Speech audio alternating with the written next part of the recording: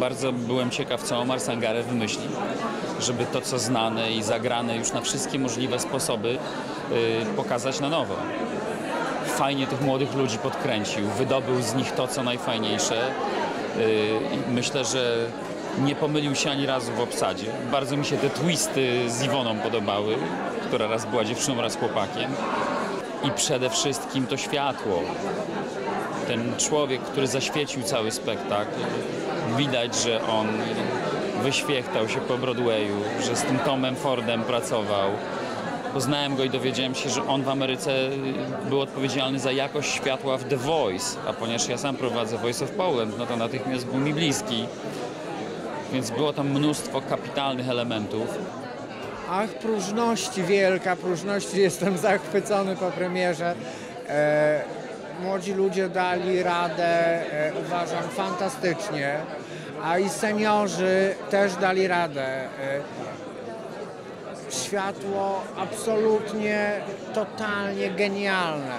Scenografia fenomenalna, wszystko się zgodziło. No, mi się to naprawdę bardzo mi się podobało. Ja zrobiłem do tego kostiumy i jestem bardzo z tego dumny. E, Uważam, że dopełniły całości. E, Bardzo duże emocje, dlatego że to moi studenci i to pierwszy raz na profesjonalnej scenie i to jeszcze dodatkowo z e, panią Barbarą Brzesińską i z Danielem Olbryskim, więc naprawdę duże dla mnie przeżycie pierwszy raz zobaczyć ich na scenie. Ja myślę, że, e, że pe- pewnie się rozegrają jeszcze, tremę widać e, dużą, ale tak jak mówię, patrzyłem trochę z e, innej perspektywy, bo patrzyłem na nich dwa lata temu, jak byli, zdawali do szkoły, a teraz ich widzę na profesjonalnej scenie u pana rektora, naprawdę w repertuarze i w, tak, w takim towarzystwie, że serce rośnie. To- To bardzo zdolni ludzie, piękni i zdolni.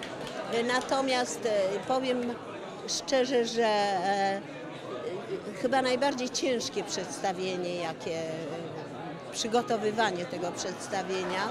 Reżysera znam, tak, uważam, że to wspaniali ludzie są. Omar jest wspaniały, ma bardzo otwartą głowę, jest profesorem w Nowym Jorku na uniwersytecie, uczy teatru, aktorstwa, reżyseruje i bardzo się to by przydawało tutaj co jakiś czas wpuszczać kogoś takiego z e, jego spojrzeniem na sztukę, tym bardziej, że to w końcu polski repertuar, prawda, Gombrowicz. To jest, to jest do dużej dyskusji, nie da się tego w dwóch słowach powiedzieć. Mnie to e, zachwycało i przerażało, jak mi Omar opowiadał, jakie to ma być, e, ale też okropnie pociągało i było to chyba najciekawsze moje doświadczenie teatralne w życiu.